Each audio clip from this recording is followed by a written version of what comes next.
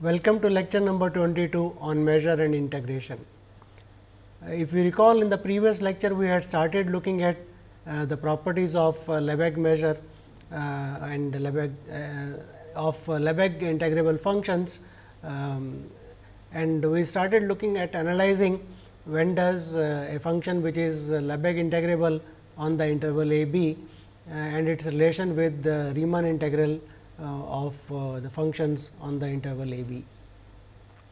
So, let us uh, uh, we have started looking at the proof of the theorem namely that if f is a function uh, defined on a, a, interval a b to r which is Riemann integrable then we wanted to show that it is also Lebesgue integrable and the Riemann integral is same as the Lebesgue integral. So, we will uh, uh, continue the proof of that theorem and then go on to analyze some more properties of uh, the space of Lebesgue integrable functions on uh, the interval a b. So, today's lecture is going to be mainly concerned with Lebesgue integral and its properties. So, the theorem we wanted to prove was that if f is a function defined on an interval a b to r and it is Riemann integrable, then it is also Lebesgue integrable and the Riemann integral of the function is same as its um, Lebesgue integral.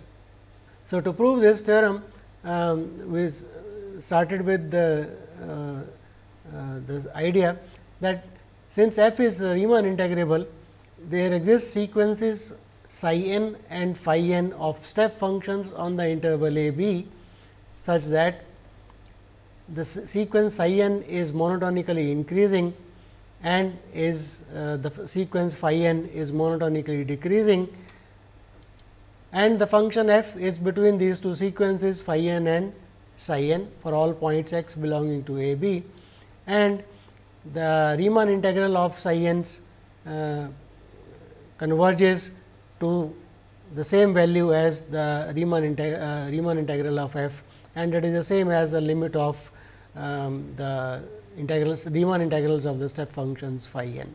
So, let us uh, recall these uh, steps which we had proved last time.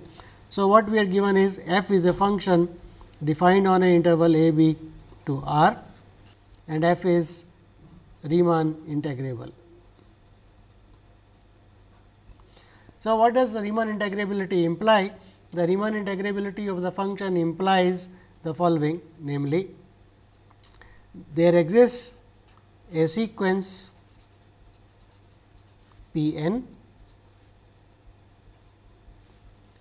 of refinement partitions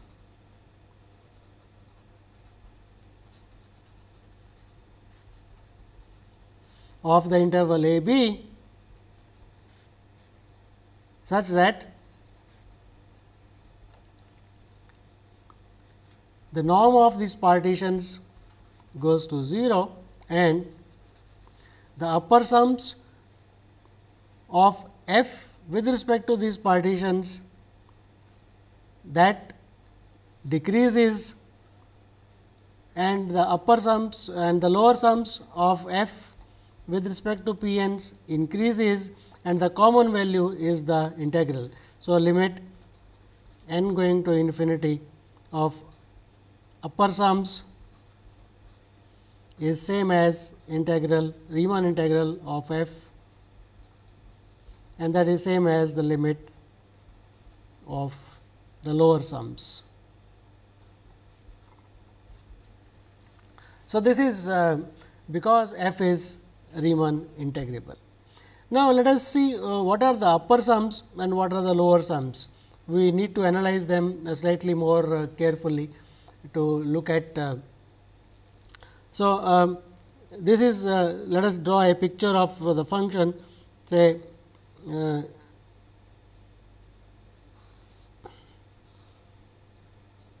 say the function looks like this. Okay. So, this is a and this is B and we get the partition. So, with respect to a partition, so let us say this is the, the general interval say x i minus 1 and x i. So, in this interval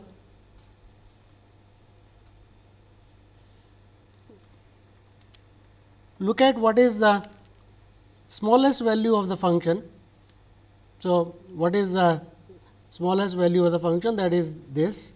So, look at this height and look at the largest value of the function in that interval. So, largest value of the function is somewhere here. So, look at that height. So, lower sums consist of the areas of these rectangles with height as the blue line and the upper sums consist of the sums of all the areas which are the green lines. So, mathematically what this means is the following. So, let us write uh, mathematically what it means. So, mathematically these things mean the following namely. So, look at consider the function. So, let us uh, write. So, consider let us define define. So, so let us say p uh, p is the partition say p n is the partition which looks like a equal to x 0 less than x i minus 1 less than x i x n equal to b. So, let us say that is the partition.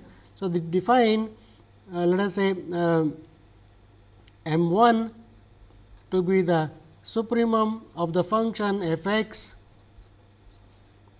x belonging to uh, a that is uh, less than or equal to uh, x uh, x 1 uh, x 1 and let us write m k to be the supremum of the function in the general interval. So, f x for x between x i minus 1 and x i. So, keep in mind here I am taking left open and right close here at the end point it is both sides close. So, these intervals are disjoint intervals. So, what I am doing is in the first part I am looking at this then I am looking at left open right close left open right close left open right close. So, I am partitioning the interval a b according to the partition points p n and then looking at the supremums in the respective intervals. Similarly, let us write m k uh, to be equal to infimum of f x in x x i minus 1 less than or equal to x i and uh, uh, m 1 to be the infimum in the first interval. So, that is f x x in x 0 x 1. So, what is this value? This m 1 and mks are corresponding to the uh, the height which is the green line. Okay. So, that is the maximum value of the function in the interval x i minus 1 to x i and the blue ones correspond to small mks. So, once we have done this mathematically, let us define the uh, required functions. So, let us define phi n is the function which is summation m i indicator function of x i minus 1 to x i i equal to uh, 2 to n and in the first one. So, let us put that value as m 1 the indicator function of a x 1 and similarly, let us write psi n to be sigma i equal to 2 to n capital M i the maximum value in the interval x i minus 1 to x i and capital M 1 in the first interval. So, that is indicator function of a to x 1. So, these are the uh, functions uh, we defined. So, they are corresponding to. So, the function which is phi n small phi n um, will look like the minimum values like this and it will look like. So, it will look like this and the capital um, uh, and psi n's they will look out like look the maximum values. So, they look like this and look like this and look like this. So, quite clearly they are uh, these functions phi n and psi n are step functions and phi n of x is less than or equal to f of x and less than or equal to psi n of x. So, as a first step the Riemann integrability of the function f over the interval a b gives us a sequence of functions phi n and psi n, where each phi n is a step function, each psi n is a step function and phi n is less than or equal to f of x is less than or equal to psi n of x. And since we our requirement was that um, uh, Riemann integrability implies that the sequence P n of partitions is a sequence of refinement partitions. So, that implies that the sequence psi n will be a decreasing sequence and phi n will be an increasing sequence. So, let us write that observation namely that so we have phi n. So, each phi n psi n is a step function phi n's are increasing and psi n's are decreasing. Okay. And moreover, further let us look at uh, the Riemann integral of the function phi n x dx a to b. So, because phi n is constant uh, on each subinterval of the partition, this is nothing but equal to um, m 1 times the length of the first interval. So, that is x 1 minus a plus the uh, sums of those rectangles. So, that is small m k times x k minus x k minus 1 k equal to 1 to n. And similarly, um, the Riemann integral of the function psi n x dx is equal to capital M 1 in the first interval times the uh, width of the interval that is x 1 minus a plus k equal to 1 to n the uh, areas of the other rectangles. So, that is capital M k times x k minus x k minus 1 right.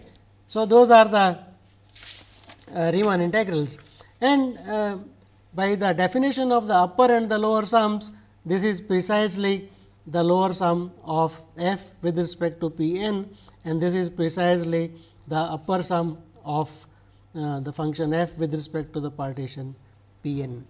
And saying that the function is uh, Riemann integrable implies that the upper sums and the lower sums converge to the same value.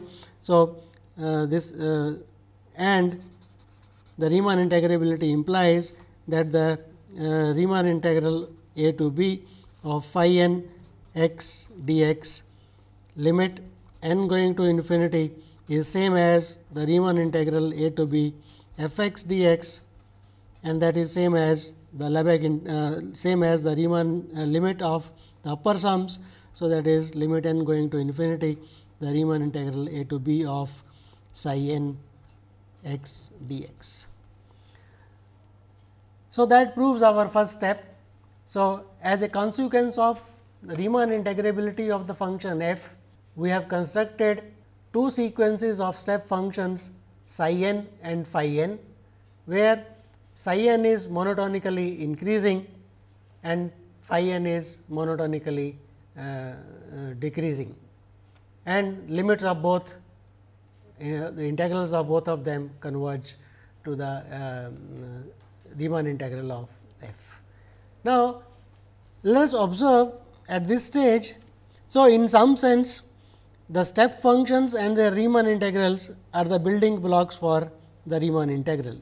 Now, let us observe that the lower sum of the function f with respect to the partition which was the Riemann sum uh, which was the Riemann integral of phi n is also nothing but the Lebesgue integral of the function phi n with respect to the um, Lebesgue integral, because this is uh, this function phi n is a simple function uh, is a simple measurable function and its integral is nothing but this integral. So, the observation is that for every n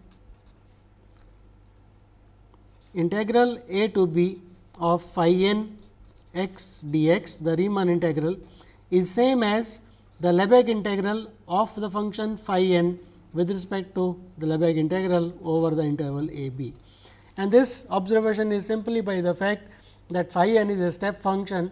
So, hence it is a simple measurable function that is integral is nothing but uh, the value times uh, the Lebesgue measure of uh, the portion on which that value is taken and that being here sub intervals. So, it is same as the Riemann integral and similarly the Riemann integral a to b of psi n x dx is equal to integral over a b of psi n d lambda. So, this is uh, um, the observation which is going to play a important role for us. So, now let us define let us consider the because we have got the observation that the function f n uh, the function phi n is always dominated by f x is less than or equal to psi n. So, let us look at the function psi n minus uh, phi n. So, look at the function. So, consider the sequence psi n minus phi n. So, look at the sequence of these step functions. These are step functions as well as they are simple measurable functions and they are non negative.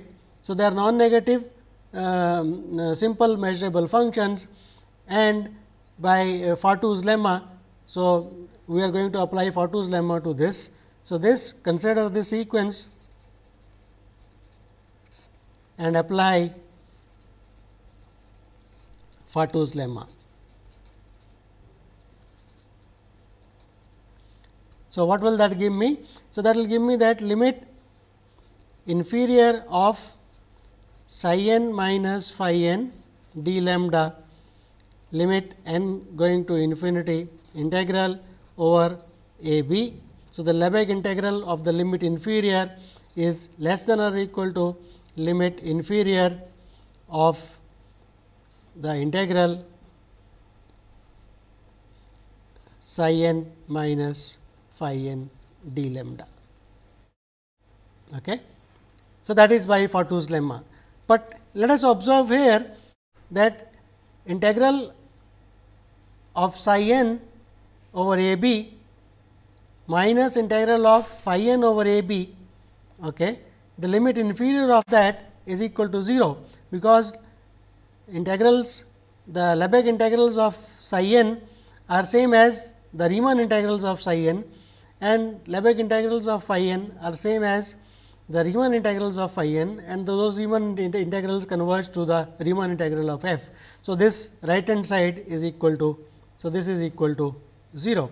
So, that means that the limit inferior of psi n minus phi n that function is a non negative function and its integral uh, Lebesgue integral is equal to 0.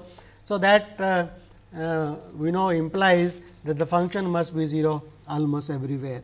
So, this implies that limit inferior of uh, the sequence which is uh, psi n minus phi n x must be equal to 0 almost everywhere x.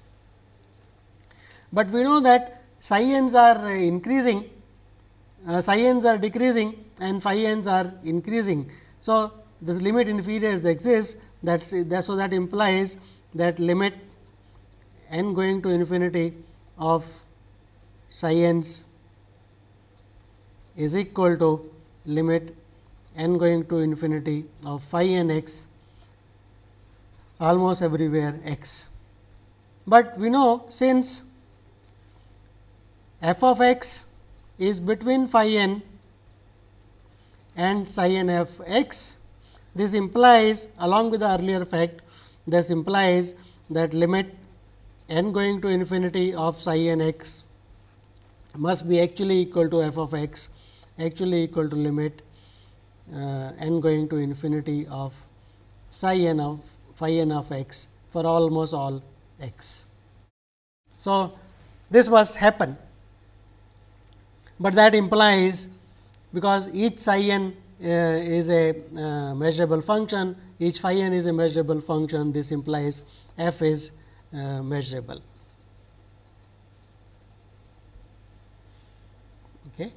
But recall f was Riemann integrable function. So, obviously, it is a bounded uh, function. So, implies that f is Lebesgue integrable.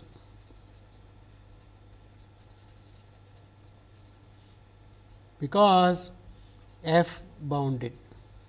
So, by boundedness of f every bounded uh, uh, measurable function and on this is defined on a b which is a finite uh, uh sp measure space. So, that must be integrable that we had observed earlier. So, f is Riemann integrable. So, only uh, we have to uh, prove now. So, claim so that integral f d lambda over a b is equal to uh, integral a to b of f x dx. So, this is the only thing left to be shown. So, we have what, what we have shown till now is f is Lebesgue integrable. So, this integral exists. And now, let us observe one thing not only f is uh, Lebesgue integrable, it is a limit of uh, a sequence of uh, functions phi n's uh, phi n's converge to f of x. Okay. So, the sequence phi n is converging to f of x and psi n's are decreasing to f of x. So, whichever fact we require you can use. So, let us use the fact that psi n's are um, uh, limit of psi n's converge to f of x they are decreasing and each psi n is a integrable function. So, we can apply um, Lebesgue's dominated convergence theorem to conclude so, by, domi by dominated convergence theorem, so since psi n x converges to f of x almost everywhere x and psi n's are decreasing and integrable psi n's decreasing psi n's integrable. So, implies by Lebesgue's dominated convergence theorem that uh, integral of f d lambda over a b must be equal to limit n going to infinity of the Lebesgue integral of psi n d lambda.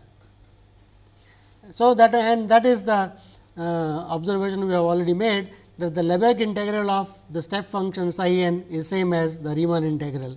So, n going to infinity. So, that is a to b of psi n x dx. And this Riemann integral we have observed is the upper sum and which limit is equal to. So, this is the limit of the upper sums of f with respect to p n and that uh, converge to integral d to b f x dx. So, that will prove that integral Lebesgue integral of f is same as the Riemann integral of f over d lambda. So, that proves uh, the theorem. So, let us uh, uh go back uh, and uh, recall uh, the proof.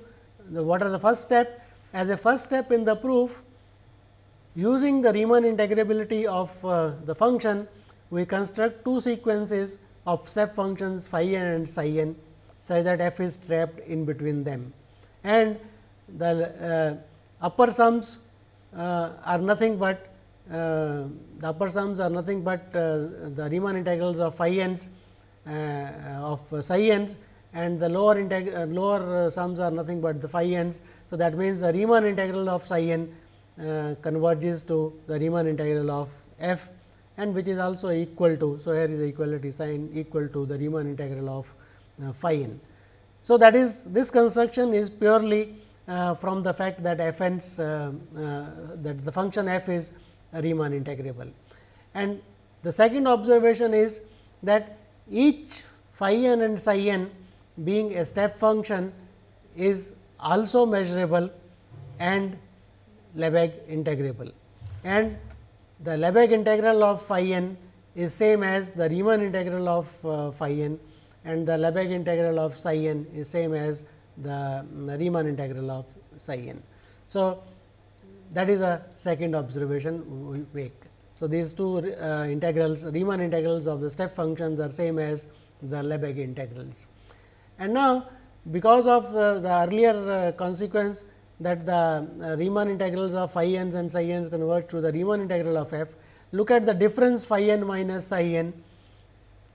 So, look at that sequence of measurable functions uh, phi n minus psi n that is uh, a, a, measurable uh, uh non-negative measurable function and, uh, and an application of uh, Fatou's lemma will give us that this psi n's and phi n's both must converge to the same value and that is f of x almost everywhere. So, that will imply that f is measurable and being uh, a bounded measurable function on a finite measure space it becomes integrable. And now, the psi n's are decreasing to f of x. So, an application of Lebesgue dominated convergence theorem gives that the Riemann integral of f is same as the limits of the Riemann integrals of psi n's which are equal to the Lebesgue integrals of psi n and that dominated convergence theorem gives you that is the Lebesgue integral of f over a b. So, that proves uh, the theorem completely namely. So, uh, this is um, the step we wanted to this was the beginning of our uh, uh, lectures namely we wanted to say that uh, to remove the defects of um, to remove the defects of Riemann integral namely um, that um, the fundamental theorem of calculus may not hold uh, and that the space of Riemann integrable functions may not be complete under what is called the L 1 metric. We wanted to extend the notion of uh, integral from Riemann uh, integrable functions to a bigger class. So, we have constructed here a, uh, a class of uh, functions on A b which are called the uh, Lebesgue integrable functions on A b and we have shown that if the class of Riemann integrable functions is a subset of the class of Lebesgue integrable functions and uh, the notion of Lebesgue integral uh, extends the notion of uh, Riemann integral uh, beyond the class of Riemann integrable functions. So, that was uh, uh, the, that is the first step in our extension theory. So, Lebesgue integral is an extension of the Riemann integral. So, as a next step we want to look at so, the space of Riemann integrable functions are inside the class of uh, Lebesgue integrable functions. And uh, there is, here is a observation which uh, um, one can observe from the proof of this theorem that if a function is Riemann integrable, then it must be continuous almost everywhere. So, um, to uh, conclude this observation uh, from the proof itself, basically what we have to look at is that the function f is the limit of those step functions, right. This is the limit of the uh, step functions. So, so if we leave aside those partition points, so we can remember we concluded that f is limit of those step functions phi n's and psi n's. So, with that uh, we concluded namely that here. So, we concluded that uh, uh, this this is this is the fact that we proved in our theorem that the limit of the step functions phi n and psi n uh, uh, is f of x right. So, that almost everywhere. So, almost everywhere psi f is limit of psi n's and psi n's are piecewise continuous functions they are step functions. So, the points where psi n's may not be continuous are possibly the points of the partition points of p n's. So, if we pull together all the points partition points they will be at the most countably many and if we remove them along with this almost everywhere set. So, outside a set of measure 0 this function f will become continuous. So, uh, I am just indicating the uh, possibility of a proof of that. So, those interested probably uh, should look into the, the textbook. And in fact, the converse of this theorem is also true namely that if f is uh, a bounded continuous function uh, which is bounded function which is continuous almost everywhere then f is Riemann integrable. So, that means there is a characterization of Riemann integrable functions in terms of uh, continuity namely a function f is Riemann integrable if and only if it is continuous almost everywhere. So, we are not uh, given the proof of this. So, those interested probably should look into the textbook uh, as mentioned above uh, the in, an introduction to measure and integration in which the complete proof is given.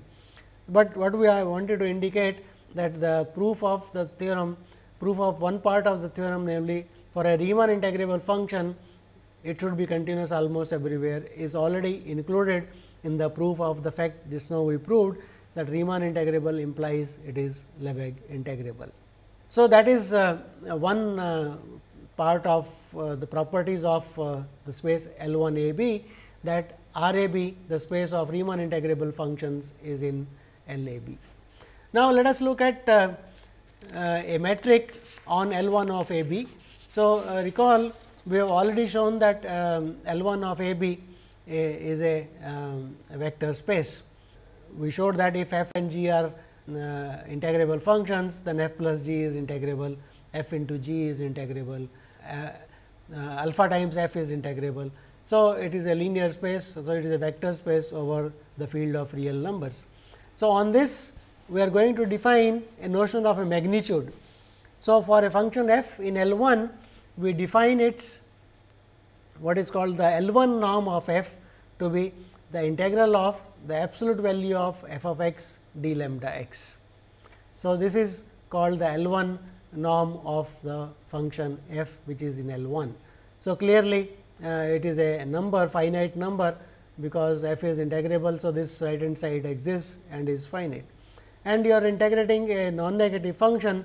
So, the first property namely the norm L 1 norm of a function is bigger than or equal to 0 uh, for all functions f in L 1 of a b. So, that is obvious. The second property namely supposing uh, this function f is 0 almost everywhere, then clearly integral of uh, uh, the function will be equal to 0 that we have already observed. So, norm will be equal to 0 and conversely, if the L 1 norm is equal to 0, then uh, the function uh, absolute value of f of x being a non negative function, its Lebesgue integral 0 that implies that the function must be 0 almost everywhere. So, the second property namely the norm is equal to 0 if and only if the function is 0 almost everywhere. And the third property which is uh, that if you multiply the function f by alpha, the norm of alpha f is equal to the absolute value of alpha times norm of f. And that is obvious because in the definition if you replace f by alpha f then this being a constant the property of the integral. So, the integral of alpha f is equal to uh, mod alpha times uh, integral mod f. So, that gives you the property that the L 1 norm of alpha f is equal to the absolute value of the constant with which you are multiplying alpha mod alpha times uh, norm of uh, f 1. And finally, uh, the triangle inequality property namely if f and g are integrable functions then we have already shown that f into g is also a integrable function and integral of the absolute value of f plus g will be less than or equal to integral of absolute value of f plus integral of absolute value of g by the triangle inequality of the numbers. So, that will give us that the L 1 norm of f plus g is less than or equal to L 1 norm of f plus L 1 norm of g. So, these are the properties of uh, this uh, uh, magnitude or this uh, norm of f 1. At this stage, I just wanted to point out that this is very much uh, similar to the uh, Euclidean metric or Euclidean norm on R n. See on R n for a vector x with components x 1 x n we normally define the norm to be equal to we can take the norm to be equal to sigma mod of x i i equal to 1 to n. So, this is what is called the L 1 uh, norm on R n. And now, so what, we are saying is that if x is a vector with n components, then this must be the uh, norm L 1 norm. Now, treat a function f defined on an interval a b to r. So, treat this treat as a vector with components with as many components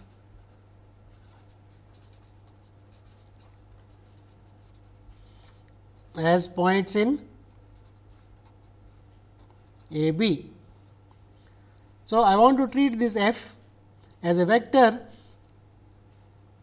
with components as many components as points in A B. So, for a point x in A B, what is the xth component of f is nothing but f of x. So, you can treat f of x x belonging to a b as a vector. So, if you treat that way then what is the L 1 norm of f you would like to define. So, keeping in mind, so take the absolute values of the uh, components. So, take the absolute value of the components. So, this is the component take its absolute value and you want to sum it and the summation is nothing but integral d lambda. So, this is um, uh, in, in that sense this is a perfect generalization of uh, the ordinary uh, L 1 norm on R n. So, the only problem in this is that we do not have the property that if L 1 norm is equal to 0, if and only if f is equal to 0. So, only we have got that uh, the L 1 norm is equal to 0 if and only if f of x is equal to 0 almost everywhere. But uh, let us uh, um, keep in mind that the L 1 norm does not change if we change the function on a null set on a set of measure Lebesgue measure 0. So, with that observation in mind we, from now onwards what we do is in L 1 of A B we identify functions which are equal almost everywhere. So, if two functions are equal almost everywhere if f and g in L 1 are same uh, are equal almost everywhere lambda then we treat these functions to be as same. So, with that understanding this becomes a metric d f g which is equal to norm of f minus g um, L 1 norm of f minus g becomes a metric on L 1 of A b and is called the L 1 metric. And uh, um, the fact we wanted to um, uh, the observation I want to point out is R A b is a subset of L 1 of A b and so, R A b as a subspace with L 1 metric is not complete in the L 1 metric. So, that is an observation which uh, you should uh, read from uh, that uh, textbook already mentioned. So, and this was one of the defects of Riemann integral that uh, motivated the development of Lebesgue integral namely the space R A b under the L 1 metric is not a complete metric. So, so this is not a complete metric under the L 1 uh, metric. So, but there is a theorem namely every uh, metric space uh, can be uh, completed. So, there is an abstract theorem in metric spaces that if a, uh, every metric space can be completed. For example, the you look at the set of rational numbers that is not complete under the usual distance of absolute absolute value as a distance and its completion is the real numbers and that is the important uh, uh, property of real numbers that it is complete uh, under that metric.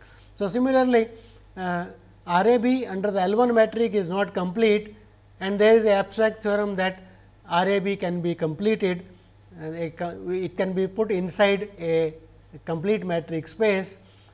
What we are going to show is that that completion is nothing but L 1 of A b. So, we are going to prove that L 1 of A b the space of all Lebesgue integrable functions on A b can be realized as the completion of the space R A b uh, under the L 1 metric.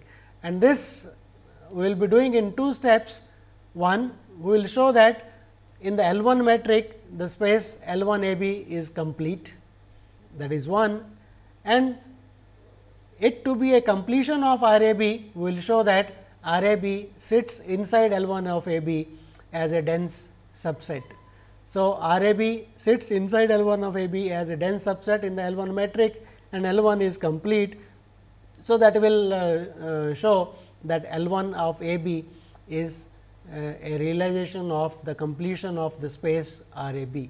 Like uh, rationals uh, are dense in the real line, reals are dense, uh, real are the field of real numbers is complete. So, that is why we say that real numbers is the completion of the field of rational numbers. So, in the similar way we want to prove that L 1 of A B is the completion of the space of uh, R A B. So, uh, that means we want to prove that L 1 A B in the L 1 metric is complete and R A B is dense in it. So, the completion part is called Riesz-Fischer theorem so, the Riesz-Fischer theorem states that L 1 of A B is a complete metric space in the L 1 metric. So, uh, let us uh, look at a proof of this. So, the proof uh, that to prove that it is a complete metric space, what we have to show? We have to show that every Cauchy sequence f n in L 1 of A B converges to a, value in L 1 of A B. Every Cauchy sequence in L 1 of A B is convergent and convergent to uh, a point in L 1 of A B. So, that is what we have to show. So, for that, so let us will to show that. Um, so, this is what we have to show that there exists some function f in L 1 of A B such that f n minus f L 1 norm converges to 0 as n goes to infinity.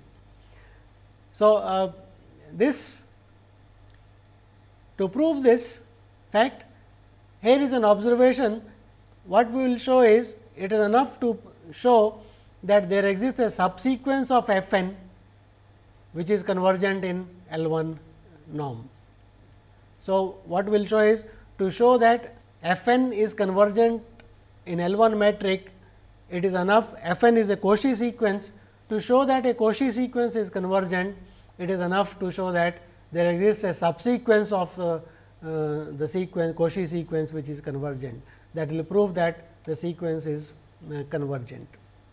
So, to do that, so we have to produce a subsequence of f n which is convergent to a function in L 1. So, let us look at the first step of our construction. To construct that subsequence, we are going to use the Cauchyness of uh, uh, of the sequence f n. So, f n is Cauchy. So, the first step is that saying that the sequence f n is Cauchy implies that I can pick up a subsequence f n k of f n such that the norm of f n minus f n k's is less than 1 over 2 to the power k for all n bigger than or equal to n k. So, to do that we start with. So, what is Cauchyness means? So, saying that the sequence f n is Cauchy, saying that the sequence f n is Cauchy that means it is same as for every epsilon bigger than 0 there exists some stage n naught such that norm of f n minus f m is less than epsilon for every n and m greater than or equal to n naught. So, that is Cauchyness. So, to start our construction, so, so start, so take epsilon equal to 1 and find n 1 such that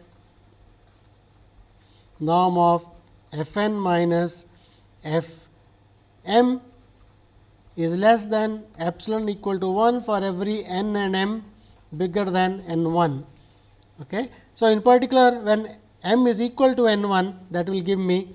So, that is f n minus f n 1 will be less than 1 for every n bigger than or equal to n 1. So, that is the first stage. Okay. So now supposing, so suppose n1 less than n2 less than nk have been constructed, have been found. So, now use Cauchiness. So, find n k such that so, how do I find n k? So, I will find n k such that norm of f n minus f m will be less than 1 over 2 to the power k for every n and m less than um, n and m bigger than or equal to find n k plus 1. So, there is next one we have to construct n k plus 1. So, I will find n k plus 1 such that n k plus 1 is greater than n k and this property holds. So, then for m equal to n k plus 1 I will have f n minus f m k plus 1 will be less than 1 over 2 to the power. So, I can put it k plus 1 also that does not matter k plus 1 for every n bigger than or equal to n k plus 1. So, by induction there exists n 1 less than n 2 less than n k less than so on such that norm of f n minus f n k is less than 1 over 2 to the power k for every n bigger than or equal to n k. So, that is uh, uh, step 1 we do that. So, once that is done we go to step 2 and the step 2 is showing that this subsequence that we have constructed has the property that the sum of the L 1 norms uh, of f n 1 plus the L 1 norm of 1 to infinity of this is finite. Okay. So, that the sums of the L 1 norms of f n 1 plus the L 1 norms of f n j plus 1 minus f n j j 1 to infinity that is all finite. And that uh, is that follows from the fact that see just now we looked at this. So, that means norm of f n k plus 1 minus f n k is less than 1 over 2 to the power k. Okay. So, if I specialize n to be equal to n k plus 1, then I have, I have this property for every k. So, that implies that if I look at the summation, so norm of f n 1 plus sigma norm of f n k plus 1 minus f n k k equal to 1 to infinity will be less than or equal to norm of f n 1 plus sigma 1 to infinity 1 over 2 to the power j and that is finite. So, that will prove that the required property step 2 namely sums of norms of these quantities f n 1 and this is finite. Once that we have, uh, we have that, now I can apply my um, uh, series form of the Lebesgue dominated convergence theorem. So, as a step 3, as a next step, I want to conclude that if I look at the corresponding functions f n 1 x plus summation j 1 to infinity f n j plus 1 x minus f n j x, then this series is convergent almost everywhere. Okay. So, that is precisely uh, follows from the uh, series form of the Lebesgue dominated convergence theorem. So, if I look at this uh, series, then I know that L 1 norms of this series is finite. So, that is precisely the perfect situation where the series form of the Lebesgue dominated convergence theorem applies uh, and says that these functions they must this series must converge um, almost everywhere. So, this sum must exist almost everywhere and if we denote the sum by f of x then f of x equal to this exists almost everywhere and it also says that that function is actually a integrable function and integral of f is equal to integral of f n 1 plus uh, integral of the sums um, of the corresponding series. So, this integrals of f is equal to integral of f n 1 plus this series. So, we have located a function f and now is only to claim that the, the difference f minus f n j uh, goes to 0 that the f is the limit of that subsequence. So, let us look at so note that uh, if we look at um, f minus f n j that is precisely equal to summation j equal to uh, k equal to j uh, sorry uh, let me um, n j. So, that means, k equal to n j plus 1 of f n k minus f n k minus 1 1. So, the difference between f and f n j is nothing but the tail of the series uh, with the um, terms f n k minus f n k minus 1.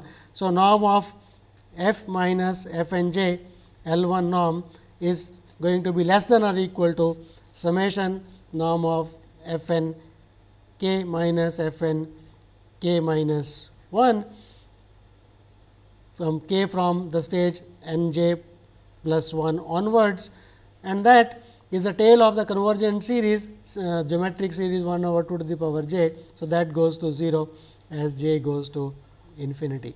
So, that will complete the proof that hence the f minus f and j goes to 0 as j goes to infinity. So, that will prove that uh, the subsequence f and j is convergent. So, let us just go to go back to the uh, proof once again. Basically, the proof uh, requires uh, one observation namely to show that a sequence a Cauchy sequence is convergent, it is enough to produce a subsequence which is convergent. And that subsequence is produced in such a way that by using the Cauchiness, we produce that subsequence with the property that the norms of the consecutive uh, terms of that subsequence are less than uh, 1 over 2 to the power j. Once that is done, we apply the series form of the uh, Lebesgue dominated convergence to conclude that the sum of the f n 1 x plus summation f n j plus 1 x minus f n j that exists almost everywhere that is a integrable function and the integrals converge. And once we have that it is obvious that norm of f minus f n j goes to 0, because once we subtract that the remaining thing uh, is a tail of the series uh, 1 over 2 to the power j and that must go to 0.